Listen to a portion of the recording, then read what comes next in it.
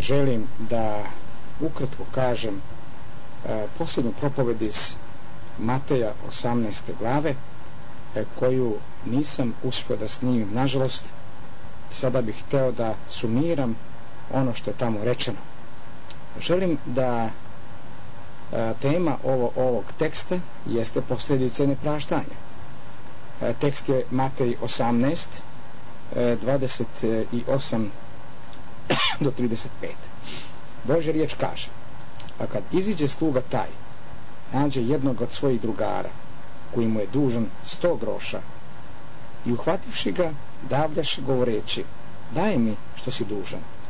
Tade drugar njegov pade drugar njegov pred noge njegove i moljaše ga govoreći pričekaj me i sve ću ti platiti. A on ne htje nego ga odvede i baci u tamnicu dok ne plati duga videvši pak drugari njegovi taj događaj žalom bi vrlo i otišavši kazaše gospodaru svojemu sav događaj.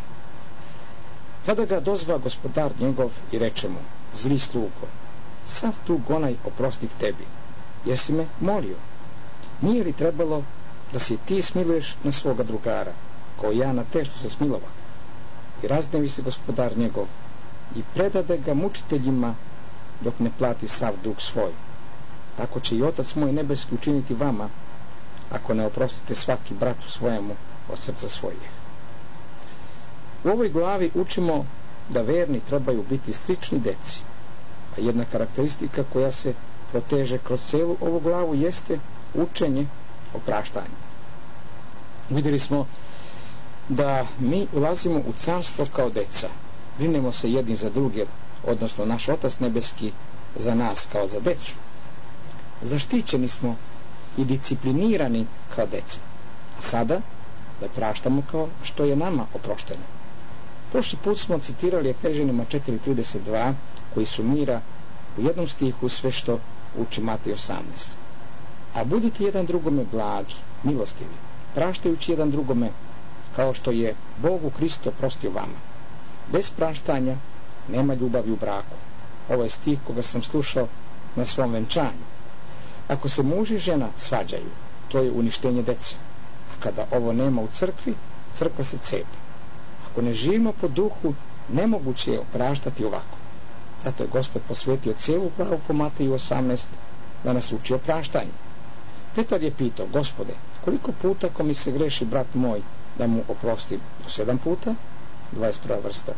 A gospod mu je odgovorio 490 puta na dan što znači beskonačno i neprestano. Videli smo da ima dve vrste praštanja. Sudsko, kada nam Bog oprašta sve grehe, kada se tiče našeg opravdanja, ali postoji i porodično praštanje kojim održavamo našu blisku zajednicu sa Bogom iz časa u čas i dana u dan. Na ovo je Gospod mislio kada nas uči o praštanju u molitvi Oče naš. Iako je nama Gospod oprostio sve naše grehe u Hristu, mi ne možemo doživjeti radost i puninu tog praštanja i Božju blizinu iz dana u dan ako ne opraštamo drugima njihove grehe. Ako mi ne opraštamo drugima, neće niti nama Otac Nebeski u roditeljskom smislu. Prošli put smo vidjeli primjer praštanja u divnoj priči o caru i slugama. Ovu priču je govorio učenicima i nama o grehu koliko je nama oprošteno i kako trebamo mi da opraštamo. Vidjeli smo da Bog s vremena na vreme poziva ljude da daju odgovor kako rukuju Božim darovima e, i životom i istinom. Svi ljudi su pristavi Božih dobara. Bog u milosti želi da nas presvedoči za greh. Mi imamo veliki dug. Vidjeli smo da je naš dug toliko veliki da se ne može izmeriti. To je mirijada, ciklion. Tekst kaže, a budući da nemaše čim platiti mi nemamo čim platiti svoj dug Bogu. U paklu ne možemo nikada isplatiti svoj dug. Zato je pakao večan. Ali ovdje vidimo čoveka koji je pao pred carem. Molio je za milost i trpljenje. Bog nas susreće na razne načine da nam pokaže naše grehe, da bismo se pokajali i spasili. Stih 27 kaže, a gospodaru se sažali za tim slugom, pusti ga i, duh, i dug oprosti mu ovo je ključ za ovu priču. Ovaj čovjek Ovo je isti sluga kome je oprostio car 10.000 talanata. Ovdje vidimo pomilovanog grešnika kako se ponaša prema ostalom pomilovanom, ostalim pomilovanim grešnicima. Kako se ponašam ja prema onima koji su moji dužnici. Ovo je teška pilula koju moramo svi popiti. Sluga kome je mnogo oprošteno traži svog dužnika, a kad iziđe sluga taj nađe. Isti sluga kome mnogo oprošteno ide i nalazi svog dužnika. Ova reč nađe znači da ga je tražio. On nije slučajno naišao na njega, već ga je tražio. Kako je brzo zaboravio da mu je mnogo prošteno. Kako je brzo zaboravio sažaljenje gospodnje. Nađe jednog drugara svojih. Ovaj drugar nije niko drugi, već brat u Hristu, kome je gospod isto prostio veliki dug. Ova priča govori o onima koji su zajednici crkve Hristove. Ovo je nešto što se događa u Božji porodici.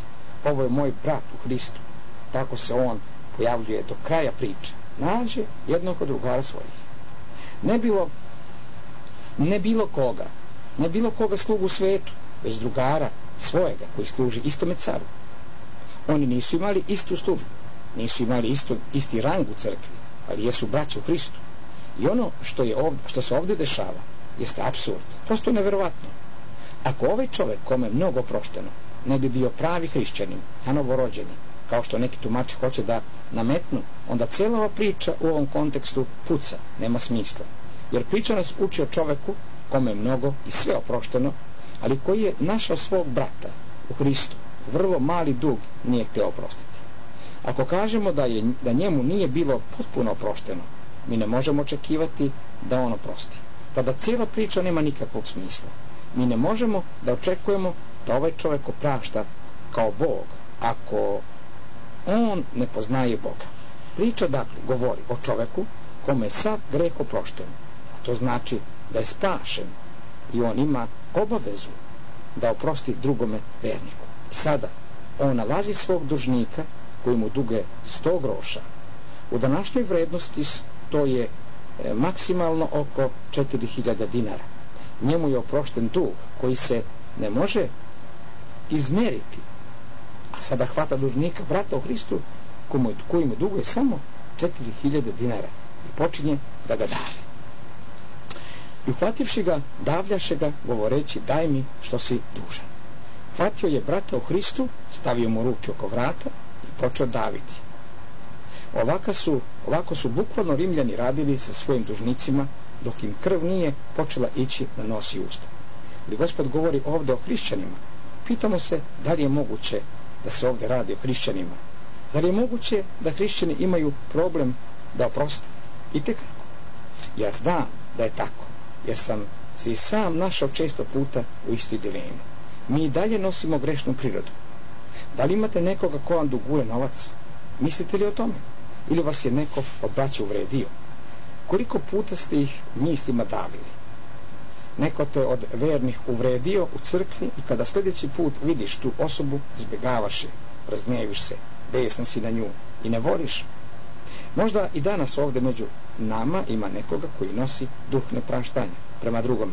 Vi ste hrišćani, a imate problem da oprostite. Telo se u nama podiže i traži osvetu. Primjer ovoga nalazimo u prvoj Korinčanima 6, da su se hrišćani sudili po sudovima međusobno. Hrišćani mogu imati gorčinu jedni protiv drugih.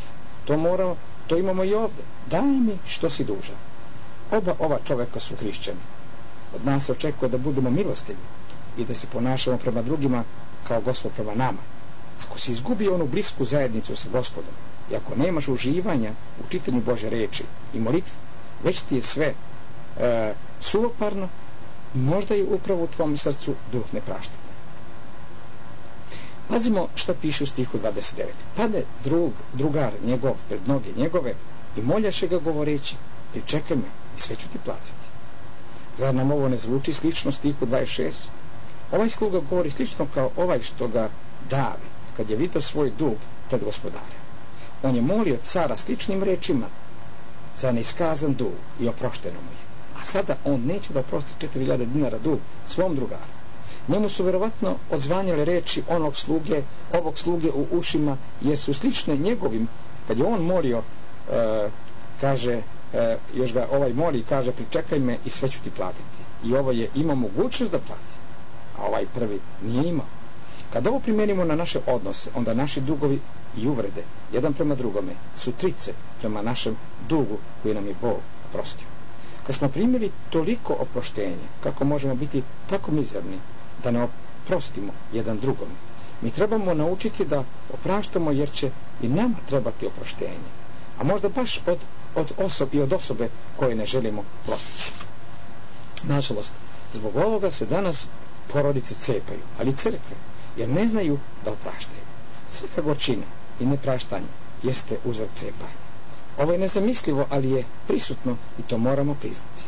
Možda i ovaj dug, e, možda je i ovaj e, duh bio prisutan među učenicima jer su se međusobno raspravljali ko će biti najveći.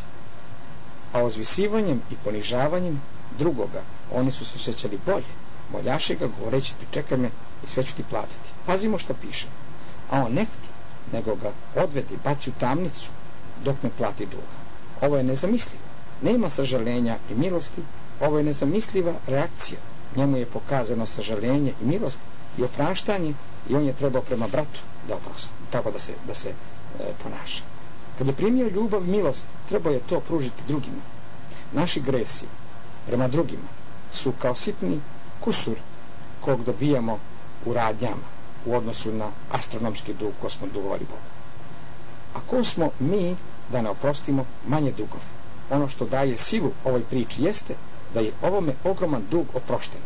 I kako mogu oni kojima je stvarno oprošteno da ne oproste? Pavle piše Titu 3.2.3 nikoga da ne ruže, da se ne svađaju, da budu blagi, pokazuju svaku krotost prema svim ljudima. Jer mi bijesmo nekada nerazumni, nepokorni, zabludeli, robujući raznim požudama i nasladama. A dalje kaže, kad se pokaza blagodati čoveku ljublje spase našega Boga, ne za djela pravedna koja mi učinismo, nego po svojoj milosti spase nas banjom prerođenja i obnovljenjem duha svetoga. Drugim rečima, ne obhodite se prema ljudima kao što, se obhod, kao što ste se ranije obhodili. Vidite šta je Hristos učinio za vas. Tužno je kako se hrišćani ponašaju suprotno od svoje nove prirode, jer ako smo u carstvu Božjemu osobina, naša treba biti milost. Blago milostivima jer će biti pomilovani. Ovo je duhovna novina. Samo kod, kad dozvolimo telu, ono pokazuje nemilost. A kada ovo činimo, mi gubimo intimnost zajednice sa Bogom. Zajednica nam nije više slatka. Nemamo duhovne sile i duhovne dubine. A sve zato što nam je Bog e, blokirao blagoslove, jer smo mi blokirali nekome oproštenje. I dok mi ne oprostimo drugima, Bog neće otvoriti nama protok svojih blagoslova. Prostimo svakom od srca ko od nas traži oproštenje. I, a i ako ne traži u srcu, moramo da oprostimo pred Bogom. Tekst nam govori kako su ostala braća primila ovo nepraštanje. 31. vrsta. Vidavši pak drugari njegovi taj događaj, žao im bi vrlo. I otišavši, kazaše gospodaru svojemu sad događaj. Ovo su ostala braća i sestre, koji su sve ovo videli i čuli. Ali braća i sestre su e, saznali da je brat išao kod brata, pa onda sa dva, tri svedoka i pred crkvom braća i sestre su učinili, e, sve učinili da ovaj brat e, učini ono što je pravo. Ovaj brat je odbio sav trud braće da doći do pravog i potpunog izmirenja. A sada piše, žao im bi vrlo. Tako valjaju braće i sestre biti zabrinuti kada neko greši od vernih. Žao im bi vrlo. Meni se ovo sviđa. Nama treba biti vrlo žao zato što se ne praktikuje praštanje. U ovakvom slučaju braće i sestre ne mogu spavati. Jedan sluga neće da oprosti, a ostalima je vrlo žao. Njima je isto oprošteno i oni opraštaju. Većina u crkvi valjaju biti zabrinuti ako neko neće da oprosti. Ovi razumiju, nažalost, e, praštanja. E, ovi razumiju važnost praštanja. Razumiju šta znači jedinstvo u zajednici i svetost Bože reči. Žao im bi vrlo. Žao im bi vrlo. Spazite ovu reč vrlo.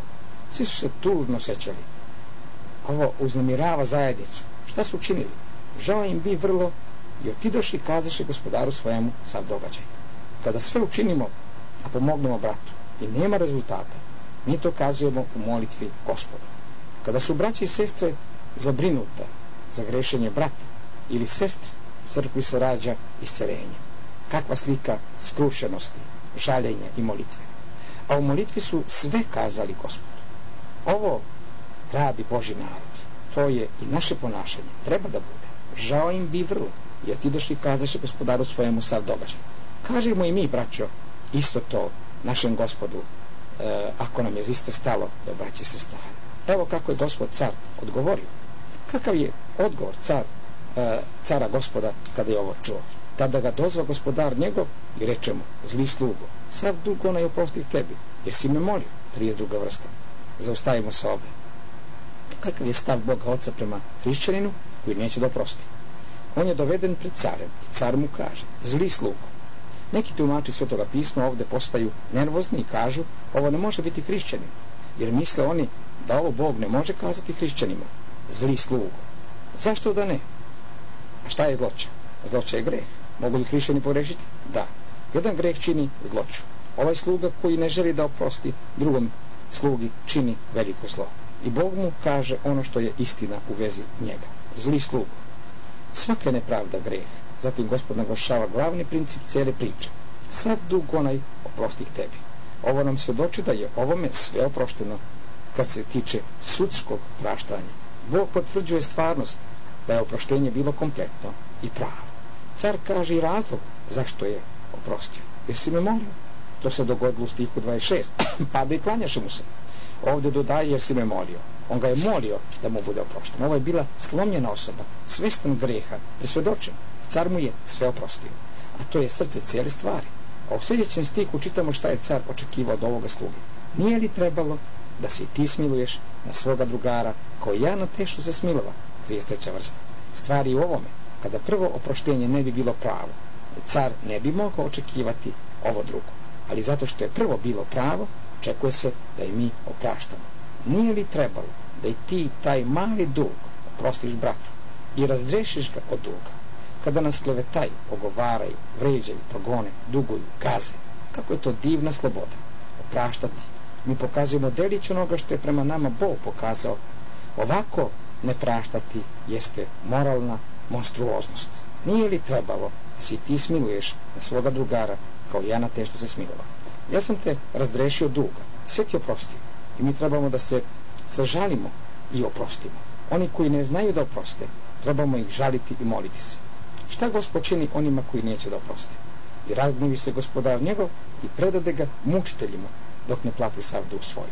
I ovo neki tumači uznemirava i misle da se ovde ne radi o vernima. Zašto da ne bi? Zašto se ne radi o vernima? Gospod se gnevi svaki put kada mi grešimo. Greh je ono na čega se Bog gnevi. A ako se ne gnevi, onda nešto nije u redu sa njegovom svetom prirodom. Bog se uvek gnevi na greh. On se gnevi na greh u mom i tvom životu. Šta Bog radi kada mi nećemo da prostimo? I predade ga mučiteljima. Istina je da Bog predaje verne koji ne žele da proste mučiteljima. Bog nas stavlja pod razne presije, stresove, teškoće, da nas osvesti, da oprostimo. O Jevrima 12, 5 do 7 piše I zaboraviste utiku kojom govori ko sinovima, sine moj, ne pušti u nemar karanje gospoda, niti gubi volje kad te on pokara. Koga ljubi gospod, onoga i kara i bije svakoga sina kojega prima. Svaki hrišćanin osjeća karanje, kao inkvizitor, sve dok ne priznamo i ne pokajamo se. Ako li ste bez karanja u kojemu svi dijel dobiše, dakle ste kopila, a ne sinovi, on nas stavlja pod mučitelje, dokle god ne platimo sav svoj dug. I to je dok ne naučimo praštati. Ovde platiti dug znači oprostiti, jer mi nikad ne možemo platiti dug. Pavle piše u 1. Korinčima 11 da dok su neki zlopotrebljavali večeru gospodinu, neki su bili slabi, neki bolesni, neki pre vremena umrli, zato je vrlo mudro i za naše dobro da svakome oprostimo i priznamo Bogu naše grijehe i tražimo snagu da se od njih oslobodimo. Prva Jovanova 5, 16 piše da ima greh smrti. To je fizička prevremena smrt zbog nepriznati greh. Ovo je greh kog hrišćani čine. Takođe u prvi Korinčanima 5, 5. Da li i mi osjećamo kao da nas stalno progone neki mučitelji? Da li osjećamo da smo izgubili slobodu pred gospodom i radost i nalazimo se kao u tamnici? Onda pogledajmo kome još nismo oprostili. Sada, kada naučimo da se kajamo i opraštamo, dobijemo oslobođenje od mučitelja. Mučitelji nas e, vraćaju na pravi put i poslušnost. princip cijele priče. 35. vrsta kaže, tako će i Otac moj nebeski učiniti vama, ako ne oprostite svaki bratu svojemu od srca svoje. Gospod ovdje govori vernima, na novorođenima, svojim učenicima. Tako će i Otac moj nebeski učiniti vama, vama, mojim učenicima, ako ne oprostite svaki bratu svojemu od srca. Ovo Gospod govori onima koji imaju oprošten astronomski dug greha. Da, oni stalno praštaju. Ovako ne mogu činiti neve, jer njima nije oprošteno. A nama je oprošteno i zato se očekuje da oprašta. Ako to ne činimo, učinimo, bit ćemo predati mučiteljima. Kada samo razmislimo koliko e, nam je oprošteno i kupamo se u njegovom praštanju, bit će nam vrlo lako opraštati. Osveta izgleda slatka, ali to je samo zaslađeni otrov. Ljubav koja prašta donosi radost i mir, savesti pred Bogom. Praštanje mi ne osjećamo uvrede. Opraštanje je štit u kome se gasi sve zapaljenje srednjočestivog. Praštanje je nebo na zemlji i u srcu mir. Ne samo vernima, već i svima ljudima pod suncem moramo oproštiti. Opraštati znači kao Bog. A Bog kaže, greha njihovih bezakonja njihovih neću više spominjati. Nikad više neću spominjati. Oproštenje je kompletno kada se zavađene stranke potpuno izmire i obnove zajednicu. Ako brat neće nama da oprosti, mi ga predajemo u Bože ruke i opraštamo. Mi možemo oprostiti, jer nam Bog daje i motivaciju i snagu. Priznajmo grehe, oprostimo i ohrabrimo druge, kao Pavle što piše Filemonu, da oprosti Onisimu. Ako mi ne vidimo ovu veliku potrebu praštanja, to je dokaz da ne shvatamo koliko je nama Bog oprosti i koliko je greh velik dug prema Bogu. Ako mi ne verujemo da naši gresi ne zaslužuju večni pakao, onda ne znamo šta je greh, niti svetost Božja, a još manje žrtva Hristova. Možemo li se od srca moliti kao što nas je naučio gospodu molitvi oče naš i oprosti nam dugove naše kao što i mi opraštamo dužnicima svojim. Počnemo to danas. Da li shvatamo koliko je naš dug velik pred Bogom? Padnemo pred njim i tražimo milost i on će nam sve oprostiti, sve kroz rane gospoda našeg Isusa Hrista. A kada ovo doživimo, nastavimo stalno da živimo u duhu praštanja. Posljedice nepraštanja su velike. Mi se predajemo mučiteljima, a to nije volja Bože za nas. Gospod želi da spusti nebo u našim srcima, našim domovima i našim crkvama. Dozvolimo mu. Slava mu i hvala kroz Krista. Amen.